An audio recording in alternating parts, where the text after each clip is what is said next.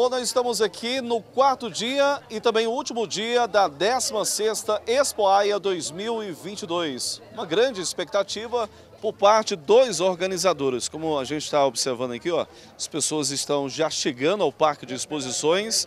Também estão em segurança aqui fazendo todo o trabalho também de conferir. Temos aí os detectores de metal. Bom, nesse exato momento a gente está aqui já conferindo, vamos mostrando aqui e já conversando também aqui, né, com algumas pessoas aqui, ó.